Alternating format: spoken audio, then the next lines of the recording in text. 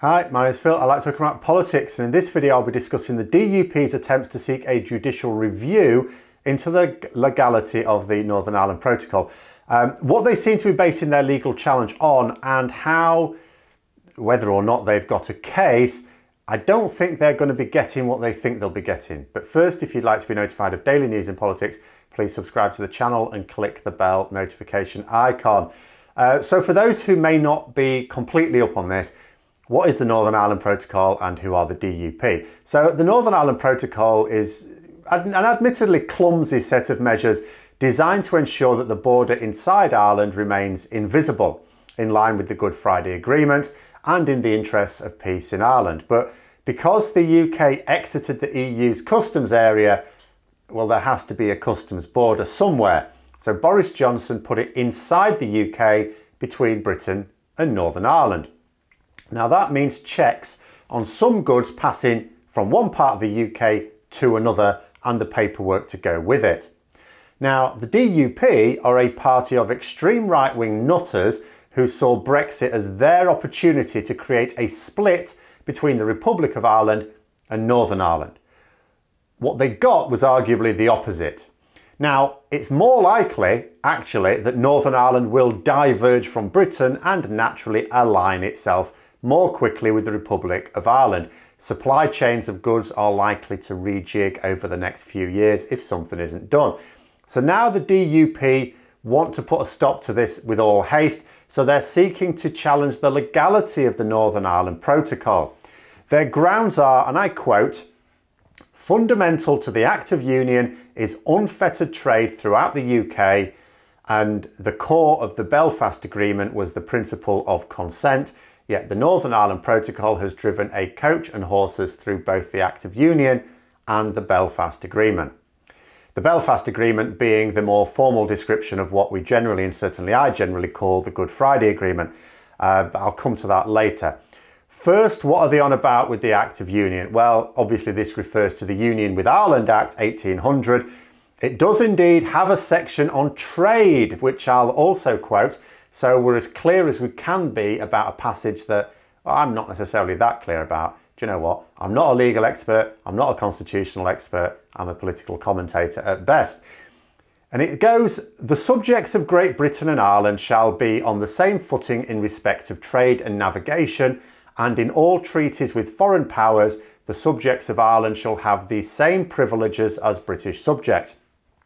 From 1st of January 1801, all prohibitions and bounties on the export of articles, the produce or manufacture of either country to the other shall cease. This is inevitably what they're touching on here. Uh, and I'm quoting from the live version of the Act on the government's legislation website. And you know what? There's not a lot of it. Uh, that being said, there is a note at the top saying that there may be changes and effects to the legislation related to exiting the EU not yet recorded. So there's absolutely nothing clinching in reading that act, even if you were a legal or constitutional expert. Then there is a little bit in the Act as well that talks about internal duties.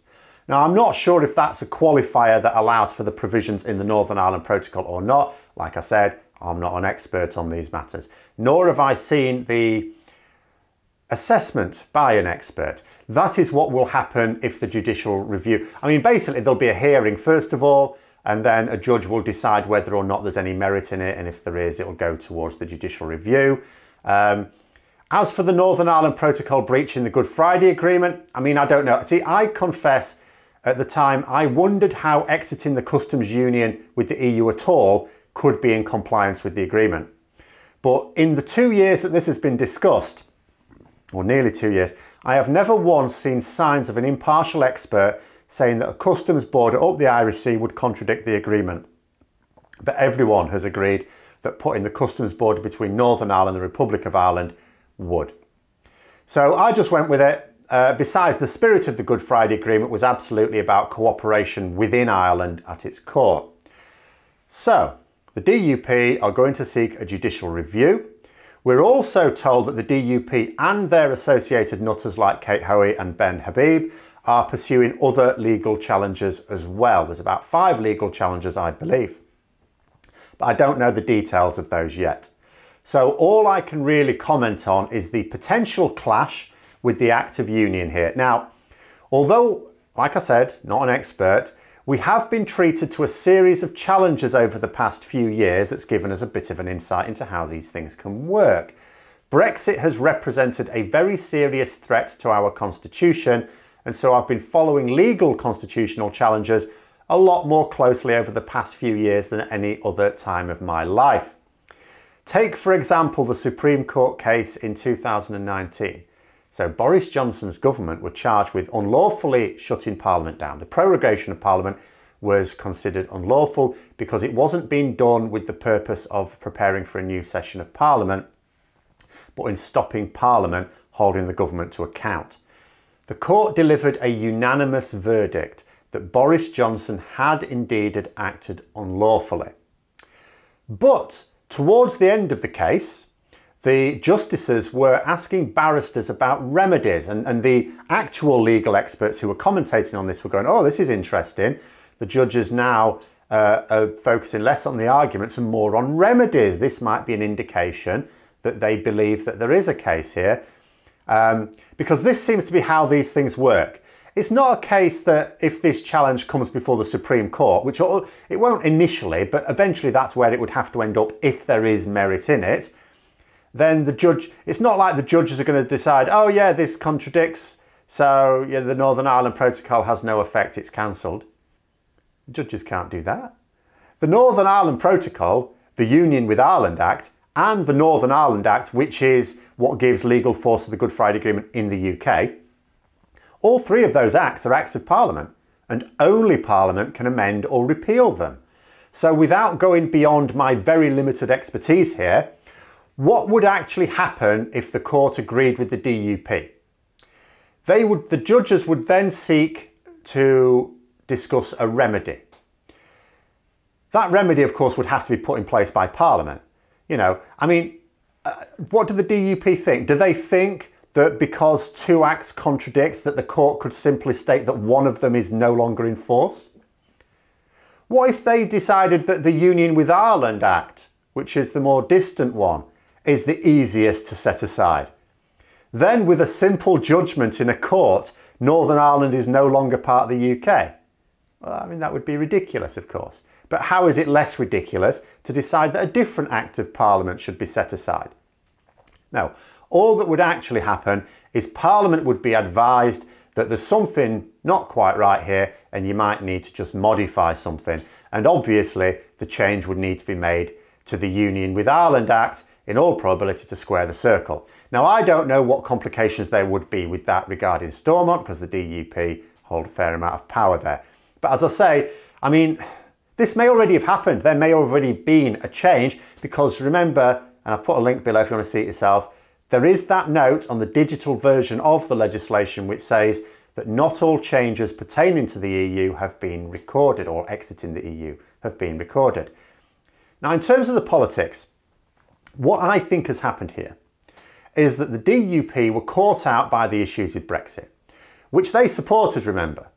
And, and you might think, how have they been caught out? Because we've seen all this coming from a long way away. You have to bear in mind, once, once you understand that the DUP are not grounded in reality, as soon as you're not grounded in reality, there's an awful lot of obvious things can catch you out. But anyway, granted, they never actually supported the Northern Ireland Protocol, but that was the inevitable result of their campaigning. They thought, they thought that Brexit could lead to a hard border inside Ireland. They actually thought that we could end up leaving without a deal that at least preserved the Good Friday Agreement. No parliament would have allowed that. Not even the current one, which is as hard a Brexit parliament as you can imagine. Certainly the one that existed before the 2019 general election was never going to allow that. But again, they're not grounded in reality. So basically what I think is they're panicked.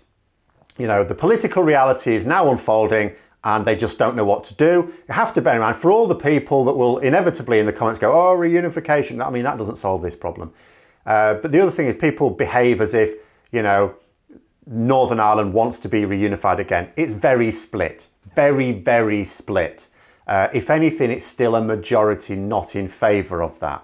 and the DUP are the representative. Now, I'm not suggesting that the Unionists in Northern Ireland all identify with the DUP. I would like to think not even a majority do. But at the end of the day, they're the ones who hold the Unionist power in Northern Ireland.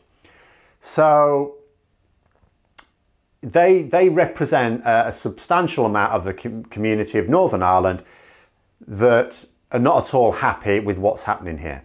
Not at all. And understandably, even, you know, take the politics out, even from a business point of view, this is a nightmare, an absolute nightmare. So they, they don't know what to do. They know they need to represent that particular view. The legal challenge won't get them what they want if what they want is a judge to say, yeah, the Northern Ireland Protocol is illegal, you need to get rid of it, because that's, that's not going to happen. And I suspect they know this. This is probably why there is talk about, about five separate legal challenges, all just random lashing out to see if anything will stick as far as I can see.